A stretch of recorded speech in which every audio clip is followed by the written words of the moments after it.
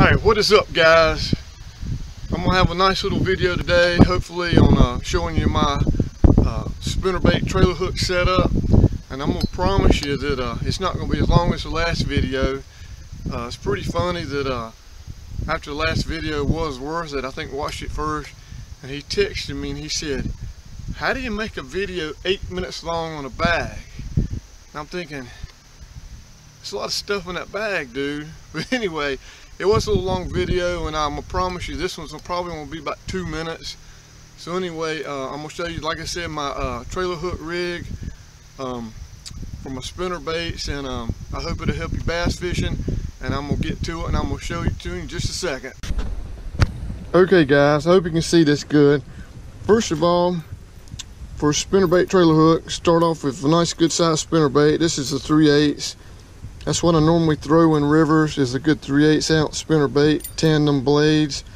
Um, white's my normal color, but sometimes I go to chartreuse if I'm fishing for smallies or something, or sometimes I go to black. Uh, but anyway, that's what I normally throw. It's a Booyah 3 8 ounce.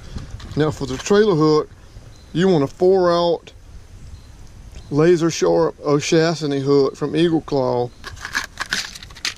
These have a bigger eye on them see that eye but what you don't want to do is you don't want to get a 5 volt because that eye is too big to get the tube over and a 3 aught is too small so you got to go for 4 aught then what you do is you take this tubing and I've got this tubing a long time ago uh, actually down at Kmart in Myrtle Beach and it's J&J's tackle or JT's tackle.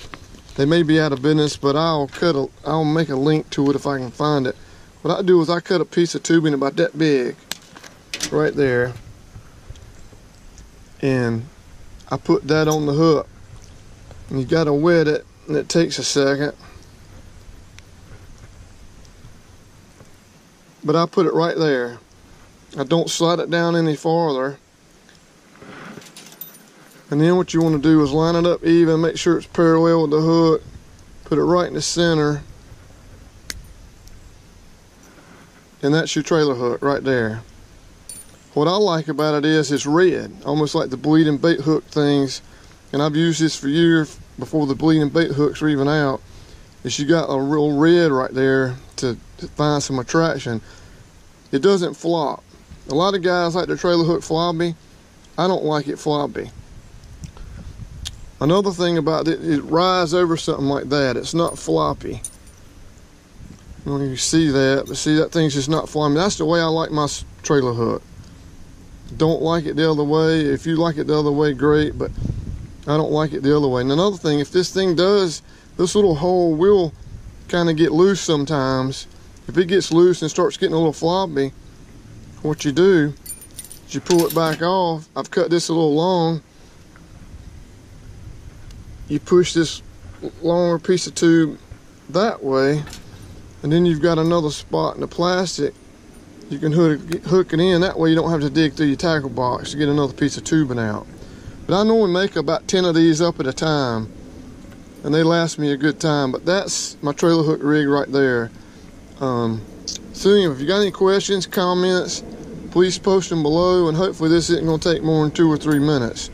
Uh, but anyway I am out and I hope that helps you right there.